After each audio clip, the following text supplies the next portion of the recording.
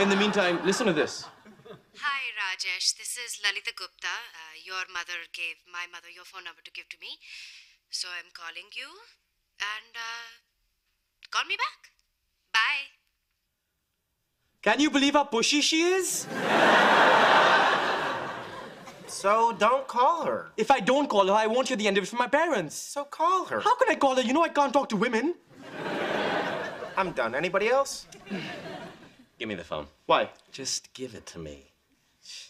What are you doing? Don't worry, you'll thank me. Hello, Lalita. Raj good. Yes, it is good to talk to you too.